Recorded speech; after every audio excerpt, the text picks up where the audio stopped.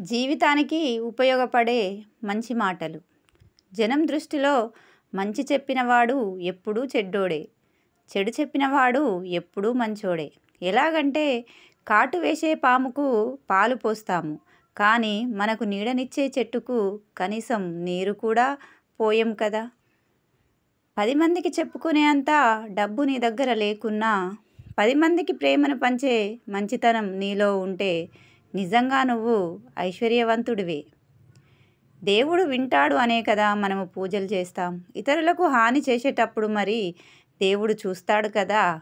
నిజంగా దేవుడు ఉన్నాడు అనుకుంటే ఏ తప్పు చేయవద్దు.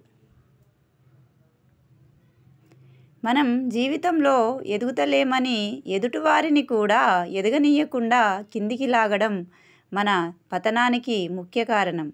అలాంటి వారు ఎన్నటికీ ఎదగలేరు.